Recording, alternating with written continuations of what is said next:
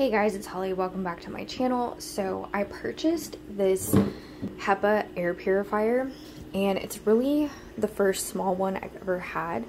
So it's got this really cool like purple light down in the bottom, but it produces like a little bit of like a fan up top and it smells really really fresh like not scented or anything but just like the air coming out of it smells super super fresh.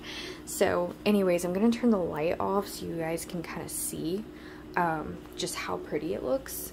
So i'm just gonna turn the light off. And then I come over here and you can see how awesome it looks.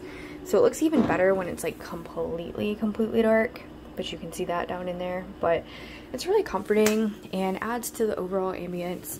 You can see a little bit of that purple light coming out down here too. And this is really great to purify the air. Um, this is really ideal for just one room, but having something like this in your house is really helpful, even if it's just small.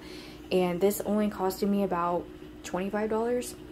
So you do want to also replace these every now and then, probably a couple times a year, but um, you know, another thing that's going to help you keep your air clean and help your overall well-being.